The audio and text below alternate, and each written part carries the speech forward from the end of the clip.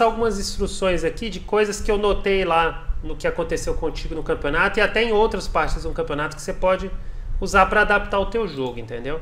Então, por exemplo, vamos lá.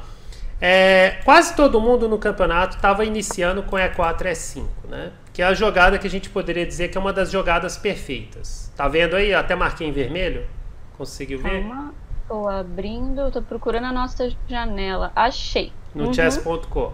Então, Sim. essa jogada ela é perfeita e tal. E lembrando aqui, o foco nosso não é ficar decorando, memorizando jogadas de abertura, sabe? Porque, tipo, isso aí, na minha opinião, não é a forma correta de estudar xadrez, viu, galera? Não uhum. foque em ficar memorizando jogadas ensaiadas, porque isso aí é, é algo temporário apenas. Tipo, eu tento sempre ensinar xadrez visando longo prazo, entende? O pessoal tá perguntando se vai ter outro Gazite, com certeza vai ter, né? Vai, acho que vai sim. O pessoal a tava falando que tava querendo até pra esse ano ainda, se der certo. Ô, oh, ia ser top, hein? Eu achei que ia ser só ano que vem. Tá doido, eu vou treinar, que isso? Aí, ó. Eu vou ali na repescagem, tá? Não, mas deve ser no mesmo formato, né? Tipo, deve ser 16 pessoas de novo, né? Tipo, é, nessa... mas devem ser outras pessoas, né? É. Pra deve... também dar uma mudada. Mas quem sabe? Não, mas a Gabi vai tal, é, não é possível. É, mas enfim. Quem sabe? O pessoal gostar de mim, às vezes eles chamam. É. Então. Então, assim, é, essas jogadas iniciais aqui, eu vou até mostrar alguns outros exemplos. Essas são jogadas lógicas, né? Cada um dominando o centro. Ó, por exemplo, o peão de E4, igual eu falei que dia, domina essas duas casas claras. O peão de casas pretas domina essas duas casas. Então já começa a ter um embate central. Outros exemplos de coisas parecidas é no peão dama também. Ó. Olha, por exemplo, isso aqui é uma posição simétrica, né? Que também acontece uhum. essa disputa central, né? Esse peão aqui controla Deixa eu marcar em azul. Esse peão controla essas duas casas e esse peão controla essas duas casas, entendeu? E outra que não é, não é só o fato do peão dominar o centro, né? Ele também já começa a liberar algumas peças, né? Então esse tipo de, de sequência inicial é perfeita, né? Existem outras também simétricas, né? Agora, quais jogadas que é sempre bom evitar, né? No início do jogo, ficar movimentando peões no canto, sem um motivo claro tipo esses peões, ou sair com peças pro canto, né? Isso uhum. aí não uhum. vai dar certo, sabe? Tipo, mesmo que às vezes a pessoa fala assim, ah, mas eu joguei o cavalo ali com uma ideia específica, na maioria das vezes vai estar tá errado, entende? Sei lá, que uhum. tá... teve uma partida sua que seu cavalo estava em C6, você colocou o cavalo em A5 atacando o bispo, e depois aquele teu cavalo ficou é, fora de jogo, entendeu? Então, tipo, é, eu não sei se você ali entrou na pilha tática da sua oponente, que era bem agressiva, e aí você, você se perdeu um pouco ali na estratégia ali. Mas então, uhum. sempre lembrar de pelo menos colocar um peão do centro. E claro, de acordo com a resposta que o seu oponente for dando aqui, você vai tomando uma medida ou outra, né?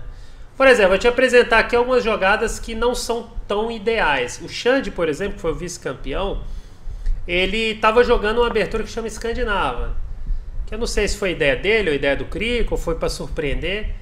É uma abertura que ela, ela não é totalmente criminosa, mas ela tem uma. Eu mesmo joguei isso em campeonato. Mas ela tem uma falha estratégica que para iniciante pode ser um problema. Olha que interessante. Você nota que já Certa começa resposta. a ter um contato no centro, não é verdade? Sim. Então, aqui, geralmente, quando começa a ter esse contato rápido entre os peões centrais, é, até baseado em alguns autores famosos de livro de xadrez, Ninsoft, por exemplo, que é um dos que eu mais gosto, é, geralmente é interessante você capturar o peão, é a forma mais fácil de você resolver o problema. Muitas vezes o jogador ele pensa assim, não, eu vou tirar meu peão dessa, desse ataque, né? vou avançar ou vou defender. Geralmente não é a melhor alternativa. Geralmente quando a gente fala no embate de peões, capturar é quase o caminho mais fácil. Mas claro, você tem, você tem que ver a sequência, se não tem uma cilada, né? Às vezes uhum. você captura ali e tem uma cilada devastadora na, do seu oponente, né? Aguardando. É, então, por exemplo, teve uma das partidas do Xande, só para usar como exemplo, é, que aconteceu isso e aí saiu com a dama cedo, né? Qual que é o defeito estratégico dessa jogada, dessa sequência? que não desenvolve peça muito bem, né? Tipo, você não vai com a dama comer nada. E ela tá sozinha. E ela saiu cedo. É, a dama é a peça de maior valor, valor 9. Ela geralmente ela vai sair só depois das peças de valor intermediário, que é o bispo e o cavalo. Tipo, não é que isso aqui, tipo, ah, saiu a dama e perdeu o jogo. Não é isso. Mas você já começa a colocar em problemas. Então, o que, que é muito comum? É a gente já começar a atacar essa dama. E aí uhum. você começa a colocar a peça de maior valor do oponente em perigo. Certa resposta. Então, por exemplo, teve uma das partidas do Xande contra. Quem que foi? Contra uh, Scarlet. Scar, Scarlatina que aconteceu isso, ó. Aí ele foi com a dama lá pro canto, porque estava atacada. E aí, o que, que aconteceu? Acabou de perder um tempo de desenvolvimento. Por quê? Porque ele tinha que tirar a dama. Então, em vez de ele colocar as peças em jogo, ele ficou movendo a mesma peça mais de uma vez. Lembra daquela história do cavalo devorador de tempos? Uhum. Mas não é só o cavalo que faz isso. Outras peças podem devorar tempos, né? É, você tem que pensar que o xadrez é um, esporte, é um jogo em equipe. Como se cada peça fosse um player ali que ele quer trabalhar, entendeu? Sei lá, vamos fazer uma comparação. Talvez eu vou fazer uma comparação tosca, mas eu gosto de fazer comparação tosca, vai. vai eu, me, eu me arrisco. Você falou que você joga LOL? Não, você joga. Dota. Dota. Até, eu, sou, eu sou capivarão em Dota, eu não sei nem a regra direito. Mas até onde eu sei, Dota é um jogo em equipes, né? Então cada player tem um personagem. Deixa eu te fazer uma pergunta aí. Se você pegar um jogador e você ir sozinho lá no campo do adversário, possivelmente vai dar ruim, né? Você vai morrer. Vai. Então é a mesma coisa. A dama aqui é um player que ela precisa das outras peças para a estratégia dar certo. Inclusive, o Dota tem ataque pela direita, pela esquerda, tem uns nomes ali específicos, pelo meio, né? tem. Então. É, top, top, bot, meio. Mandaram aqui Isso. que Dota e LoL é bem parecido. É, os dois são MOBA, né? É, é o mesmo. É, então. Então, assim, fazendo a comparação com esses jogos, apesar de que eu não sei nada, mas é. É tipo assim. Para todas essas estratégias, seja do mid, do bot. Do bot? É, Mid. bot embaixo, top ah. em cima. Eu não sei por que, que é assim, mas é, sei lá, tá. eu aprendi assim quando eu comecei então, a jogar. Então, embaixo, meio ou em cima, é, tem que é. ser em equipe, né? Não adianta a pessoa ir sozinha. A mesma coisa. Sai com a peça sozinha ali, pensando que é o Rambo ali que vai derrotar todo mundo, não vai dar certo. É mais fácil essa peça aí morrer do que é, ser capturada ou cair em alguma Mas trampa. aí, nesse caso, seria o ideal, tipo, ela comer a, a capturar ela capturar o peão e voltar, né? Ou não? Ou aí já é besteira? É, essa jogada, digamos que ela seria segura, mas aí. É... Então, para que que jogou essa sequência, é, sabe? Não, tipo, tem razão. Vamos dizer, seria, seria uma forma de você curar uma ferida, mas era melhor nem ter a ferida, né? Então, esse, esse tipo de coisa, sair com a dama muito cedo, assim, você tem que pensar que é como se fosse um player importante aí no time aí já ir querer dar louca ali e invadir o campo uhum. sozinho. Vai, vai morrer, né? Imagino, né? Vai morrer. Vai morrer rápido. O Carrie né? vai morrer. No, no Counter-Strike eu sei que dá errado rápido, assim. Porque eu era metido a Rambo no Counter-Strike e morria. Hum. Eu era valentão, mas aí eu descobri que tinha que agir em equipe. Falei, é, o negócio funciona às vezes igual xadrez. Então, é. Mas enfim, aí e ainda, qual que é o problema, às vezes, de ficar com essa insistência aí da dama desenvolvida? É que às vezes essa dama é, pode ser alvo. Se não me engano, a partida do Xande foi mais ou menos assim. Eu não sei se eu vou lembrar toda. É, eu acho que ele jogou esse lance, se não me engano. E aí, que, olha o que aconteceu. Ó. O branco tem as peças desenvolvidas. Tem um razoável domínio central aqui. E olha o que está começando a acontecer. Vamos ver se você descobre qual que é o tema tático que está rolando. Ó. Ele jogou, ela jogou Bispo D2. Acho que foi até alguma preparação do Garcete. O que, que essa jogada hum. começa a ameaçar? É um tema tático aí. Tá, tá uma zona aqui no meu. Como assim? No meu. Tá tudo colorido e tá diferente do seu, que eu tô assistindo você pelo meu celular. tá aqui ah, tá. assistindo. Não, tá mas... tá diferente. Não, Ué. mas calma, vamos lá. Não, não, agora tá certo. Ah, tá. é... tá. Você tá perguntando qual que. Ó, a última tá? jogada das brancas foi Bispo D2, tá vendo? Tô vendo. Tá certo, tô no lugar certo. Então. Sim. O que, que você qual acha? Qual é o problema disso? Que que... É é que tá todo mundo. Para as né? pretas, qual que você acha que pode ser uma ameaça? É um, é um golpe tático aí que começa a aparecer. E que tem a ver com o que a gente acabou de falar aí. Eu acho que se ele. Eu. Hum, o que, que, poderia ser bom para as brancas? É, por Talvez exemplo. mexer o cavalo, o que né? Que você... aí você vai liberar para o bispo e tentar ameaçar ela com.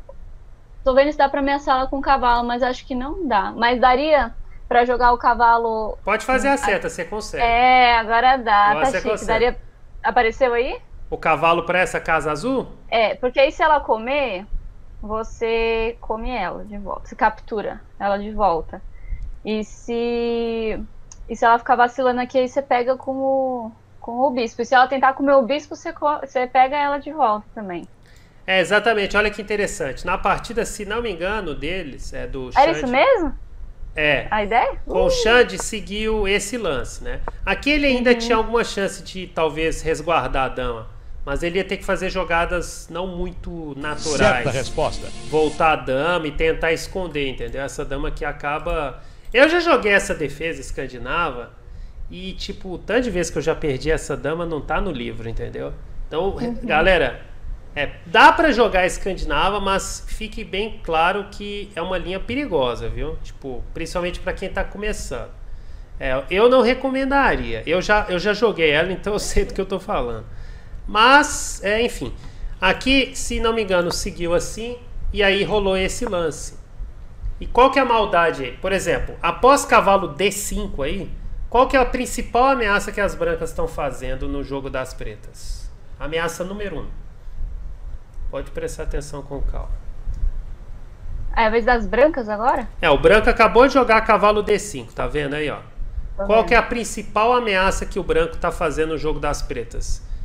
Vou, e aí eu vou te explicar que isso é um golpe tático. Eu enxergo o cavalo, né, aqui. Esse ah. outro aqui pra cá.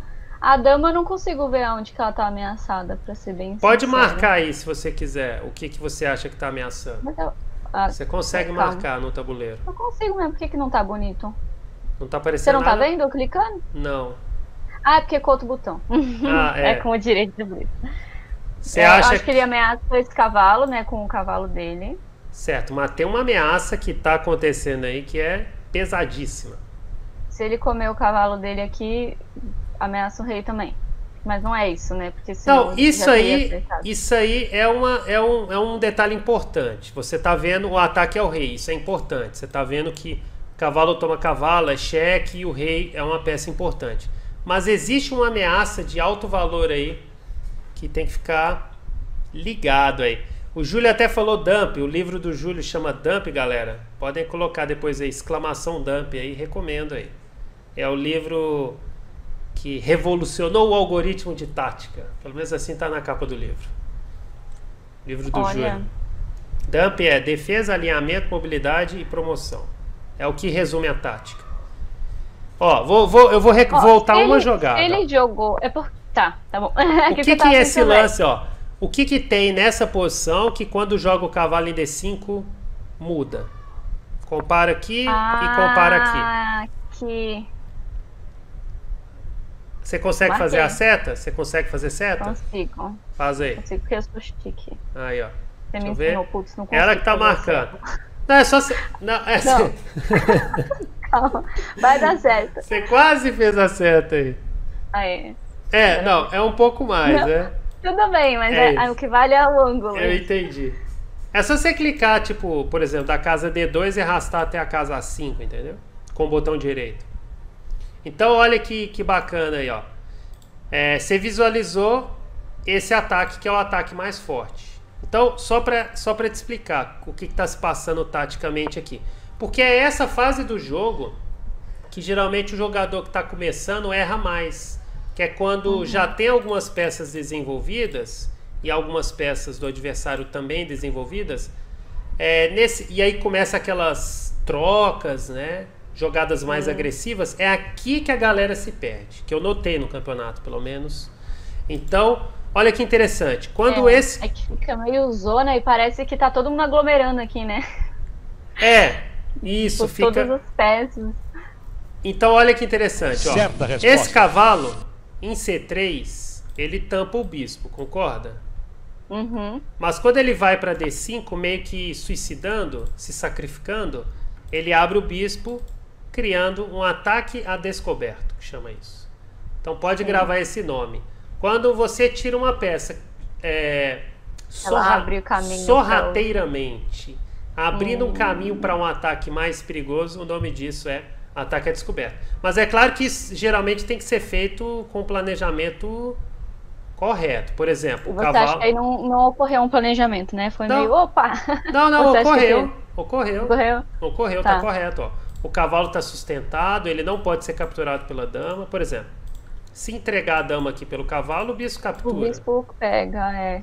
E aí, por exemplo, uma sequência dessa aqui, é, as pretas perdem a dama e ganham o bispo e cavalo. Qual foi o lucro matemático aí?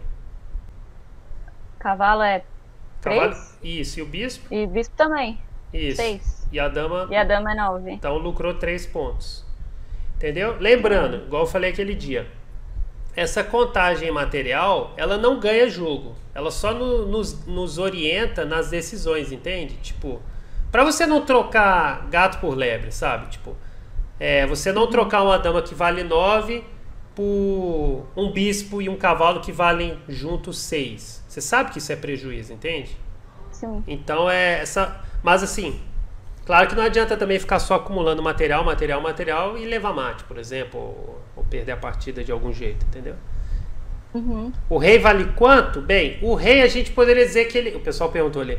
O Mad Nerdog.